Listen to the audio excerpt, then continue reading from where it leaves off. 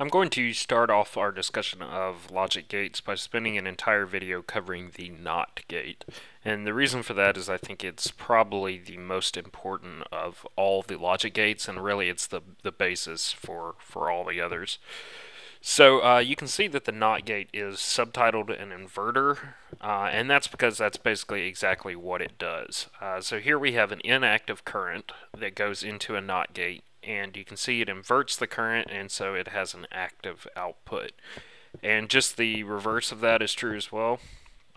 So now if we have an active current going into a NOT gate again it's inverted and we have an inactive current coming out the other side. So these are three different models of NOT gates. They're not really connected together. Um, so just different ways you can kind of build the uh, the same uh, thing here. So the one in the center is probably the one you will see most likely, and that's pretty much just a wire that runs into a block and has a torch on the opposite face of that block. So one of the best uses for a NOT gate is to act as a repeater. So here I have a lever that supplies power to our redstone wire, and that's ultimately plugged into a torch down here.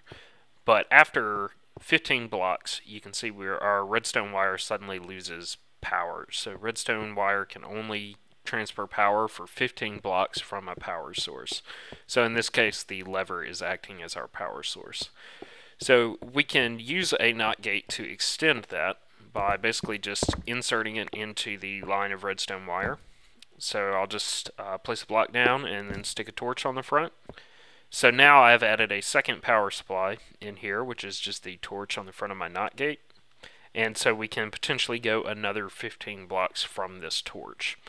One thing you'll you'll notice, however, is that our current has been inverted by the NOT gate. So in order to get back to our original active current, we need to add a second NOT gate in the line of redstone wire. So by doing that, our first NOT gate will take the active current, invert it to an inactive current, and our second NOT gate will take that inactive current, current and invert it back to an active current, which is our original state. So another way of doing this to make it a little more compact is to actually kind of use the first model of NOT gate, which is this model here. And we can make a little addition to it to act as a compact repeater. So first of all, I'll just build the uh, original model of the NOT gate, which is just two blocks together, a torch on top of the first block, and a redstone wire on top of the second block. Now, uh, if we were just building a NOT gate, we would extend the wire right off that block. But if we want it to act as a repeater, we can stick a torch on the front of the block instead. And so this is basically uh, kind of like adding a second NOT gate onto our original one, or in this case, just making a compact repeater. So from here, we just connect up our wire, and there we go. We've now built a repeater, and so we have another 15 blocks of powered redstone wire.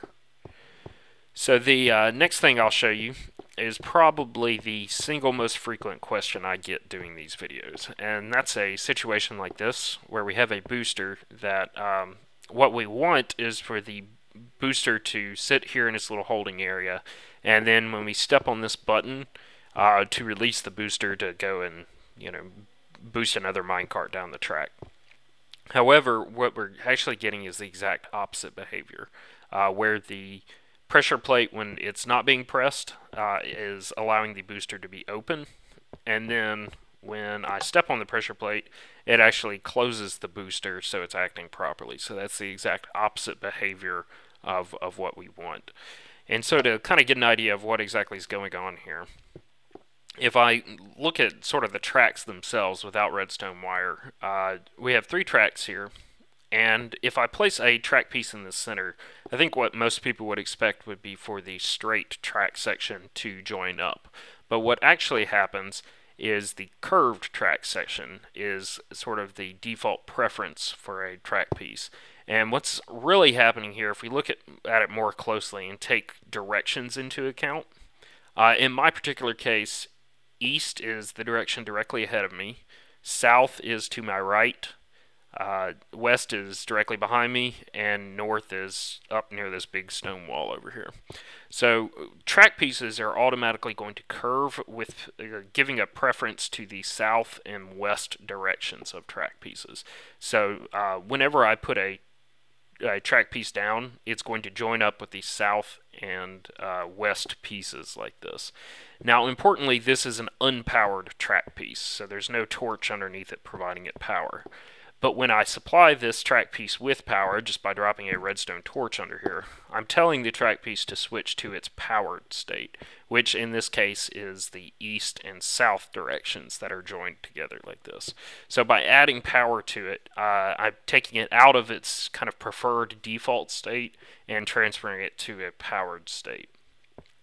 Now when we look at our booster, we can see that we have the exact same arrangement here. We have a powered torch underneath it.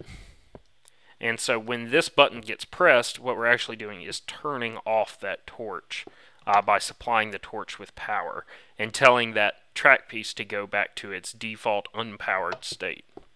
Now, its uh, powered state in this case is a state that's connecting the east and the uh, south directions together, which is what we see here, just like in the previous example. Uh, now, so in order to fix this, what we want is to switch the default unpressed button state to uh, be the unpowered state of the track rather than the powered state that it's at right now. And so to do that is pretty simple. We can just use an inverter and so uh, by placing an inverter in this line of redstone, we'll have an inactive input coming from our pressure plate, but that's being inverted to an active output. So the active output is turning off our torch that's underneath the track piece. So now we have the track piece in its default state as the unpowered state. But when we press the button here, uh, we are providing power to our inverter, so an active current going into the inverter, becomes an inactive output from it, which allows that torch to come on and tells the track piece to swap to its powered state, which is the one that connects it with our, our uh, other track right here. So it opens the booster. So for all, all, the people who have built designs exactly like I have, used the exact same wiring I have in my videos, uh, and had the opposite consequence, the reason uh, that that is happening is because my track uh, piece, my booster section, is oriented in a different direction than what you may have in your world. So uh, in order to fix that, we just need to place an inverter in the line of redstone going from our buttons to uh, our final track piece right here. And that should fix the problem. So that is about it for NOT gates. Uh, next we will probably be talking about AND and OR gates. So stay tuned for that.